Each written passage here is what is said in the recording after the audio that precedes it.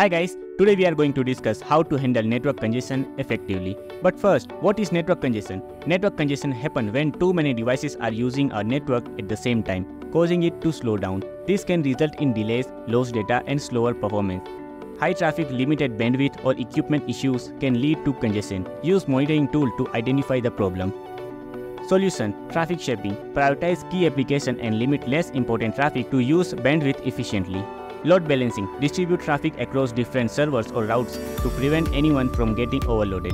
Network upgrades. Increase capacity by improving or adding new network connections.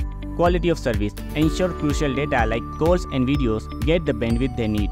Network segmentation. Split the network into smaller parts to control and manage traffic more effectively.